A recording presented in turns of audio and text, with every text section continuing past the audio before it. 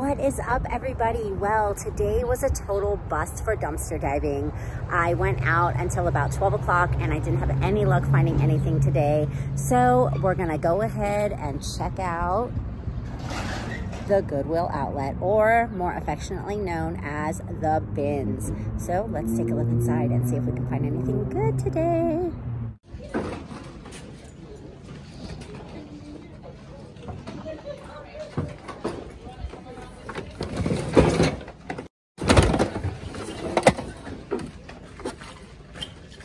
Poor Barbie.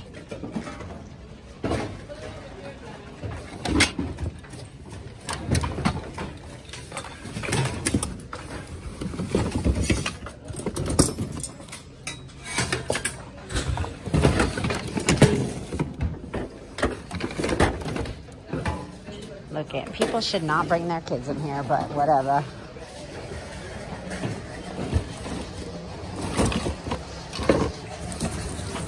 Christmas tree.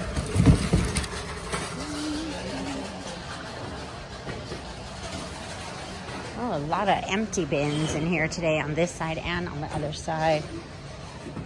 It's the end of the day. It's usually good to come here either at the end of the day or in the morning because I find you have the best luck. You're either going to get the good stuff left over that they didn't take at the end of the day, or if you get here in the morning, then you get the good stuff before they take it. I don't know. It's hit or miss sometimes.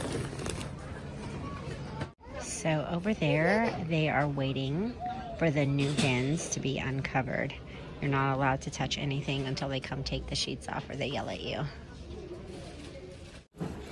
Okay guys, so it's really hard to like hold the camera film and then dig at the same time because I need both hands to dig, but there is so much stuff here today. And when they pile them super high like this, it's like a lot of work digging through.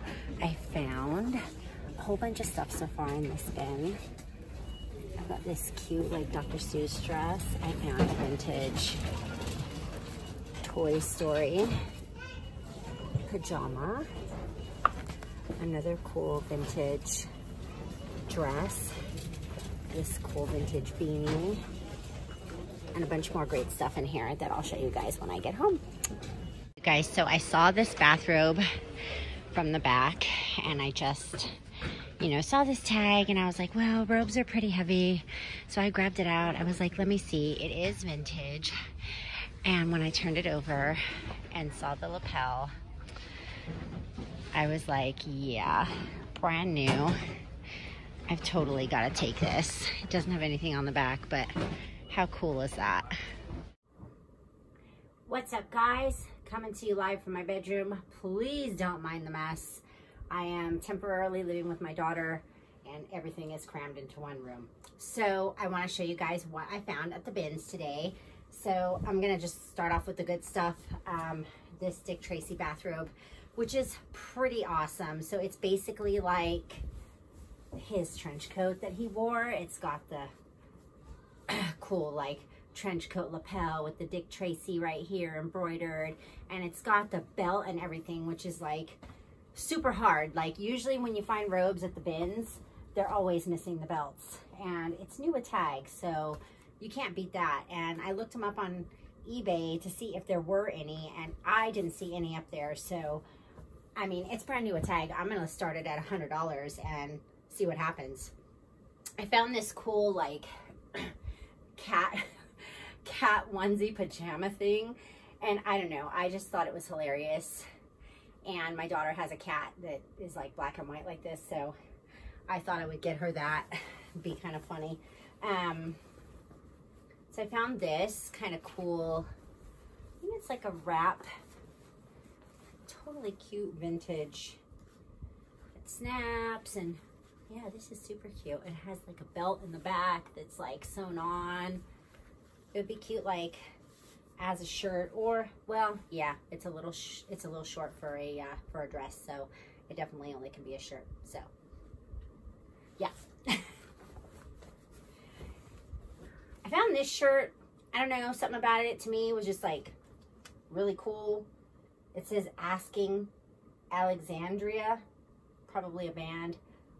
Maybe I've heard of them.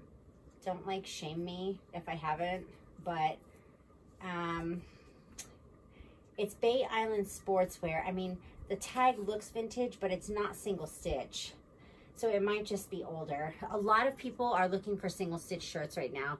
There was a lot of people who were there that I could tell. They were just digging for single stitch shirts. Found this cool vintage Toy Story kids pajamas. This is a size 3T. Ooh, I should put my little granddaughter in this and photograph her. This is super cool with Buzz and Woody. It has a tiny little tear. I don't know if you could see that right at like the armpit, but I can sew that up. And then I found a vintage Britannia men's sweatshirt. I mean, this is from the 80s, even though it's plain. These are super cool um, super in right now. I mean, you see a lot of that stuff kind of being remade at like Forever 21. And here's another one. Like, I love these. I have a couple um, of these types of sweatshirts with different, um, you know, they're like tourist sweatshirts. So this one is from Yellowstone, which is actually really cool. Um, and this one is a Russell Athletic and it's in decent condition. I'll OxiClean it and it'll take out a lot of the dingy yellow and there's like a spot at the bottom. So a little trick, what I do, um, and it works really awesome, is I buy the um, OxiClean spray and I'll spray whatever stains are on the, on the garment and I'll let them soak. And then I will wash them and I will use a little bit of laundry detergent and also a scoop of OxiClean powder detergent. Um, and for really, really tough stains, especially on whites, just super, super, super hot water in like a Rubbermaid tub that like you could leave it in the bathtub um, and just soak the item in there for a couple hours or overnight or as long as it takes, you know, to get the stains out. And I mean, I have found vintage dresses that were like so badly yellowed. And I mean, I got the stains almost completely out. Um, they were at least 90% better than what they were when I bought them. So um, just make sure that you don't mix colors because sometimes they will bleed and you might end up with different colored garments. Just a warning, I've done that before. Um, I found some cool like Indian style kind of like harem pants. I am going to the Gem and Jam festival with my sister. Um, I think it's like the first weekend of February. The gem show is huge here in Tucson, and my sister comes out every year. So she's coming out again this year, and she got us tickets to the Gem and Jam show. So I'm gonna try to go with like an Indian theme for like my costumes. So I noticed that these vintage camisoles are trending right now. I mean, they have been probably for a long time, but when I was downtown here, I saw two girls while I was down there, you know, walking around just wearing these with like vintage high waisted pants. And it was like super cool look. So I don't know. I'm to try to pair that with this and see how that looks. And then I found this kind of sari dress type deal. I mean, it's like super big size, but what my plan is, and there's a matching jacket, is to cut all of this down, do something fun and funky with the jacket, you know, because it's like super huge and use most of the fabric to do some kind of like maybe short shorts and a tight, either like a bikini-ish kind of style crop top or um, I don't know. I, I, don't know yet, but it's going to be some kind of crop top and short shorts.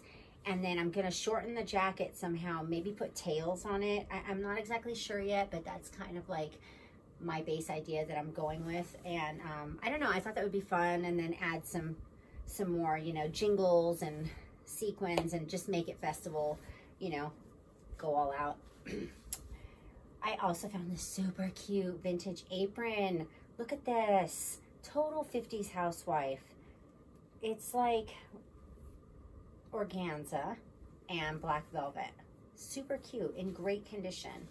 So I could probably get about 40 bucks for this. I mean, I could ask 40, maybe 30. I don't know. It's super cute though, and it's got like little bows, and it's got the little individual pockets. So, um, oh yeah, I have a few more things.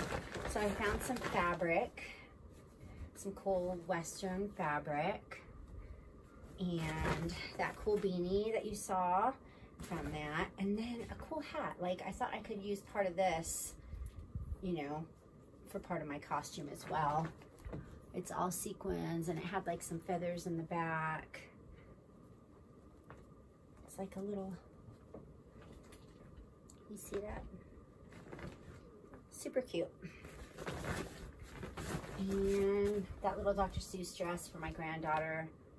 That's super cute. And I found a vintage sequin Santa vest. And a men's vintage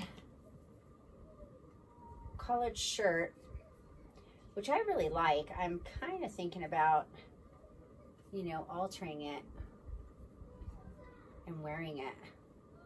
I've been into these kind of shirts lately and like um, men's short sleeve button front shirts um, in funky, you know, 80s style. I mean, I think those are kind of in and trendy right now anyway. So that's my haul for today. Hey guys, thanks for watching. Please remember if you like my content, hit that like button, hit the subscribe button, and you'll get notified when I post new content. And remember, share if you think that my content is that interesting that your friends might like it too. I look forward to making another video for you guys. Hopefully the dumpsters will have something good tomorrow, and I will see you guys soon. Bye.